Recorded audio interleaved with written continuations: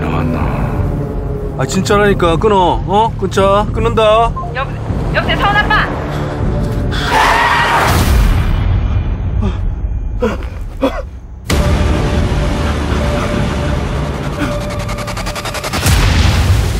애가 못담시 저길 들어가요? 그러니까 그게 귀신한테 걸린 것이지.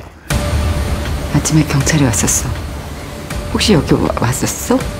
팀장님 어디서 봤다고 하던데요? 죽은 줄 알았던 아이가 내 귀에 속삭였어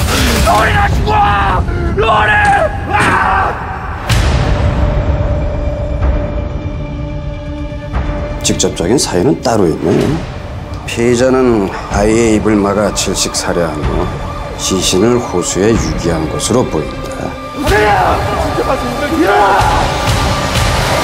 이런다고 세령이가 살아 돌아와? 어떤 놈이 그랬는지 찾아서 똑같이 갚아줘야지 내가 내 딸아이 입을 틀어막아 죽이고 호수에 던졌다고? 사랑 진짜 악마예요. 내가 끝내야 끝나는 거야